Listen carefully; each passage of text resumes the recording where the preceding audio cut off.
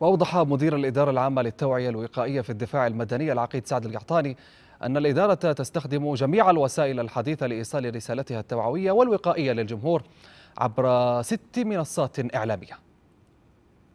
نعمل جاهدين في هذه الإدارة لاستخدام جميع الوسائل الحديثة والتقنيات الحديثة في إيصال رسالة التوعوية للجمهور الكريم سواء المقيمين أو المواطنين الكرام. الأعمال التوعوية متنوعة ومتشعبة.